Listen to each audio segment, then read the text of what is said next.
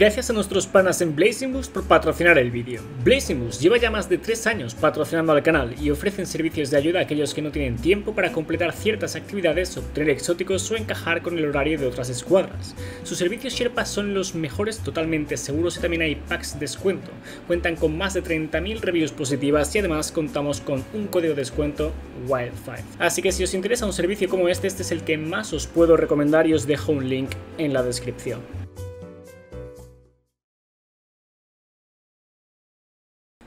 Bendiciones. Como cada temporada vas a encontrar un montón de cosas nuevas en la tienda que están tan guapas y que también cuestan un ojo de tu cara, ¿vale? Y nadie quiere gastarse un ojo de su cara. Así que vamos a pasar por el cómo obtener todas estas cosas gratis, ¿vale? Con polvo luminoso en lugar de gastando nuestro dinero, en lugar de gastar la plata, ¿vale? El cuándo salen y básicamente con esto podréis calcular exactamente cuánto de esto tenéis que guardaros para cuándo y básicamente lo que haréis el resto de la temporada con eso, porque es que lo sabemos todo, con la única excepción del evento. Y también vamos a pasar por el evento, de hecho, así que vamos allá. Antes que nada, como os digo, esto lo vamos a comprar con polvo luminoso. En caso de que no, sabe, eh, no sepáis cómo se obtenga, uno de los métodos más fáciles es completar estos desafíos eh, de temporada, ¿vale? Que dan una buena cantidad de polvo luminoso. Otra forma de obtener polvo luminoso es con los contratos repetibles. También hay ciertos triunfos, en, principalmente en eventos, creo, que te pueden llegar a dar polvo luminoso. Y hablando de eventos, como os digo, esta temporada tenemos uno, ¿vale? Y también hay contratos semanales que nos dan 200 de polvo luminoso cada uno. ¿Vale? Además también, como veis, del pase de batalla.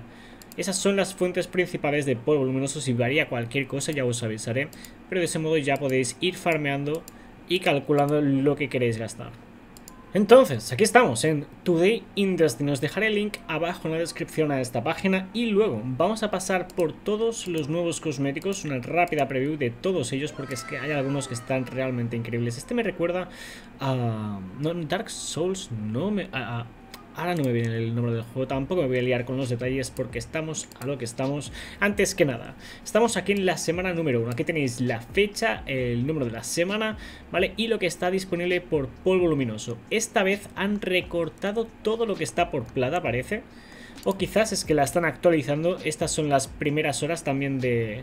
Bueno, las primeras horas, las primeras 24 horas de la temporada. Y quizás vayan a actualizar lo de la plata. Anteriormente mostraban las ofertas de plata y demás. ¿Vale? Ah. Sí, aparentemente las ofertas semanales, eh, las proyecciones de estas no están disponibles, así que solo puede calcular los ítems de plata, es decir, los gratis, no los que podemos comprar con polvo luminoso, ah, de la tienda. Así que casi que mejor porque así queda más claro. Todos estos ítems son los que estarán disponibles las próximas semanas. Esto, como habéis visto, está disponible ya.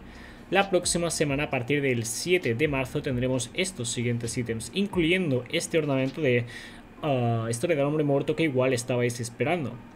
Dicho eso, ya sabéis cómo funciona, ¿no? Tenemos aquí las siguientes semanas hasta ya el final de la temporada. Y como veis, las últimas cuatro semanas desde el 2 de mayo, ¿es eso? Creo que es 2 de mayo. Como veis, comienza el evento de Juego de Guardianes. hay ciertos ítems que regresan, hay nuevos ítems que aún no han sido revelados y que no podremos ver del todo ya hasta que llegue el día. Pero hay ciertos ítems que sí podéis ver si queréis echarles un rápido vistazo. Como veis, no son los nuevos, son los antiguos. Pero sí hay unos cuantos nuevos que llegarán con el evento. Cuanto se sepa más, os lo haré saber. Pero como veis, hay ítems geniales como estos, por ejemplo. Estos, como veis, aparecen la semana 9. Así que podéis apuntar esa fecha, lo que cuestan, que lo podéis ver ahí, ¿vale? 1500 de polvo luminoso.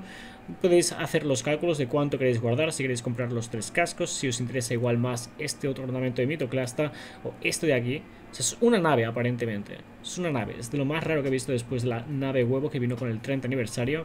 Algunas Sparrows que están bastante guapas y dicho eso vamos a pasar por algunos de los nuevos ornamentos de esta temporada, de hecho todos, ¿vale? A todos, por cierto casi todos están en Eververso, si no lo están os eh, lo explican de dónde se obtienen, ¿vale?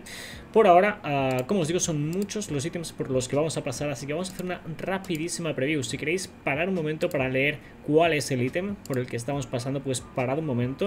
Por ahora, esto es para que sirva de preview para aquellos que quieran echarle un rápido vistazo a aquello nuevo en la tienda. Y por cierto, estos guanteletes están bien finos.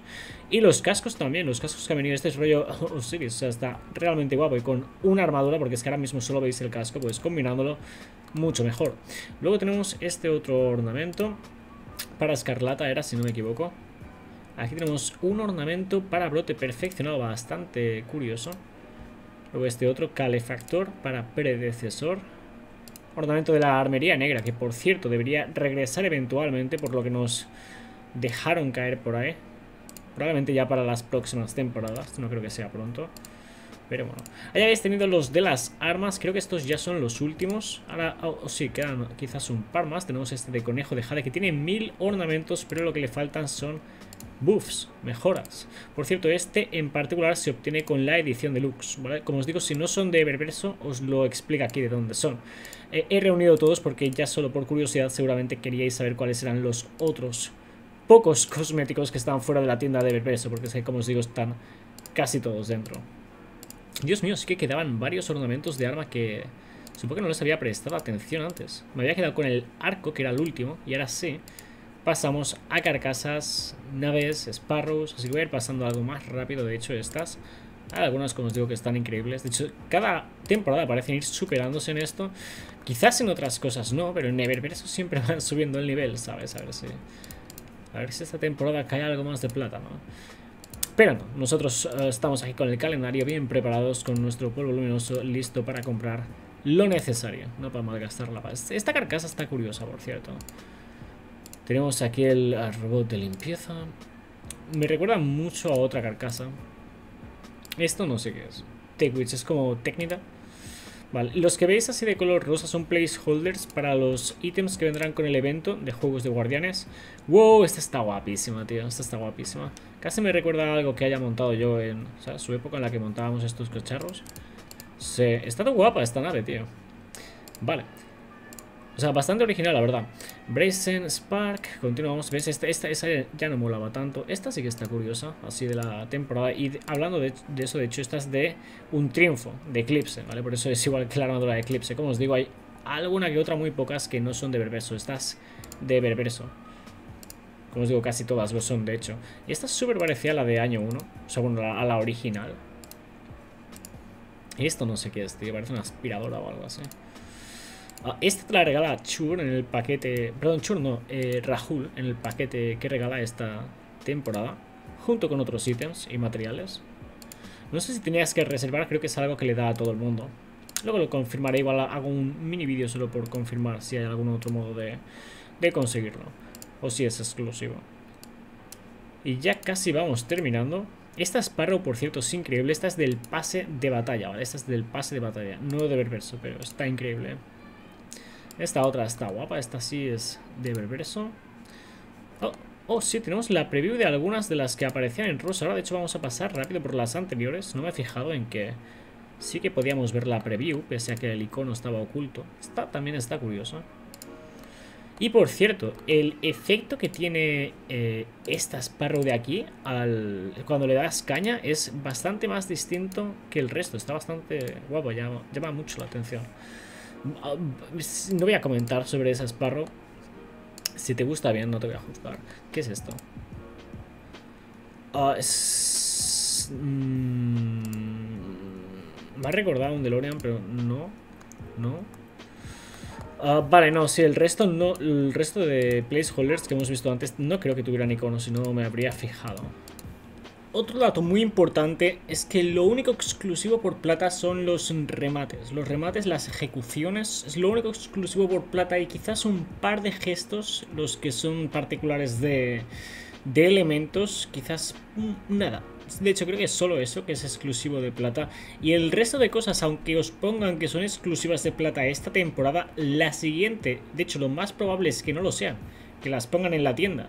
¿Vale? Así que sí, no tenéis motivos para gastar la plata. Ah, es mucho dinero, la verdad. O sea, te puedes gastar cuánto cuesta un shed. Eh, hay armaduras que te cuestan 1500, algunas creo que bastante más de plata. En plan, 20 pavos por una armadura. De hecho, las de Assassin's Creed costan 20 pavos, creo.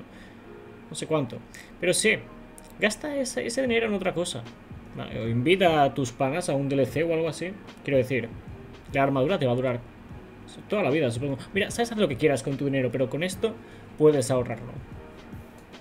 En fin, esos son los cosméticos esta temporada. Os voy a dejar el calendario abajo en la descripción para que podáis apuntar las fechas, el precio de todos los ítems que queráis obtener esta temporada y para que podáis compartirlo también con el clan, con la escuadra, para que no gasten dinero ¿vale? Que se lo gasten en las temporadas o en las mazmorras o en el DLC que ya está bastante caro o en el canal, hazte miembro, apoya al canal, ¿vale? En lugar de gastarlo en plata y con esto pues eso, ya, ya sabes cuándo va a llegar todo también.